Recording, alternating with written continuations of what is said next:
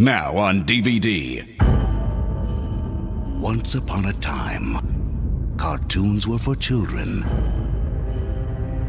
Little four year olds who lived with their mommies. Sweet, silly cartoons. Until. Cartoons on my blackboard!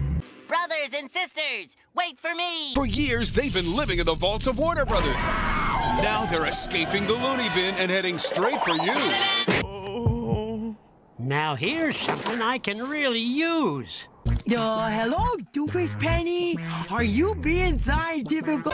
New from the Warner Home Video Classic Animation Collection. It's the Looney Tunes Golden Collection Volume 3. You know, funny stuff.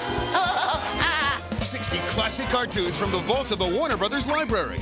Remember, they're nothing like These episodes are totally restored and remastered. That's not how the experiment goes. It was performed by Galileo at the Leaning Tower. Yeah. And now available for the first time on DVD.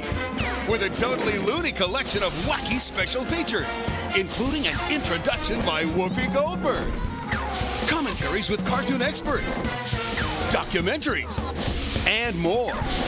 The same loony cartoons you loved as a kid are now better than ever, and you can make them yours. What's up, Doc? Uh, nice to meet you. And you have Jen. And help future generations know the pleasures of a good hard punch in the face. The Looney Tunes Golden Collection Volume 3.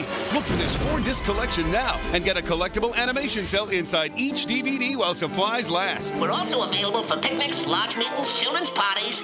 And be sure to look for Looney Tunes Golden Collections Volumes 1 and 2. Thank you.